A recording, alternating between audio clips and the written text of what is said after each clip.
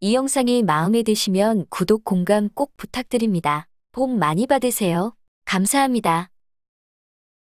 뭐 이런 여자가 다 있어요? 어떤 분은 국민을 우습게 알고 사기치면서 돈 처벌더니 지가 할 말 뭐 있냐고? 국민이 우습지, 영구 퇴출시켜라 주장하고 있습니다. 누구냐고요? 바로 이쁜 함소원입니다. 아내의 맛에서 국민들에게 대사기극을 치고 도망갔던 그녀입니다.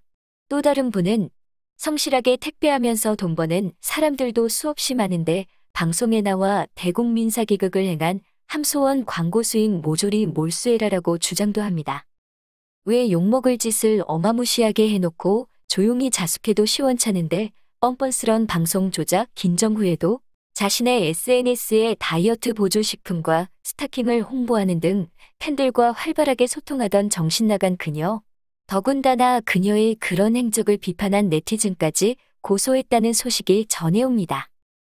기가 차네요. 잘못을 인지 못하는 무슨 병이 있는 것이 아닌지 궁금합니다. 또한 함소원 담당 일진, 연예 뒤통령 이진호 기자는 함소원 숙대 입학에 관한 특종을 터뜨렸습니다. 함소원 숙대 입학 거짓말이다. 함소원은 95학번이기 때문에 1학년 때 미스코리아에 지원했다면 1995년 미스 태평양이 진짜요? 되어야 한다. 하지만 어찌된 일인지 함소원은 그랬으면 1997년도 좋겠어요. 1학년에 미스 코리아에 지원했다고 지적했습니다. 통상적으로 3학년 때 편입을 한다. 97년에 편입하더라도 입학 원년 학번을 받는다. 97학년도에 편입하면 95학번을 받게 된다고 덧붙였습니다. 도대체 이 여자분 진실은 무엇인가요? 모든 것이 주작으로 의심해야 될 것 같습니다.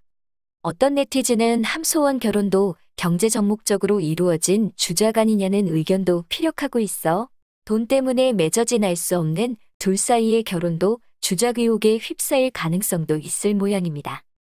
일반인들이라면 아내의 맛 같은 주작을 절대 하지 못하고 방송 하차하자마자 인스타 유튜브에서 또 장사하는 이런 어처구니 없는 일을 저지르질 않을 것입니다. 더군다나 대학 입학 의혹까지. 파도 파도 끝이 없네요. 한마디로 어이가 없습니다. 함소원 씨에게 조언드립니다.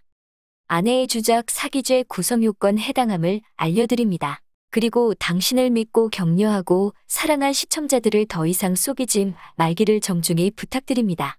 제주도 가셔서 힐링하시고 제대로 된 모습 보여주시길 부탁드립니다. 이상 빡치니 슈티브였습니다. 감사합니다.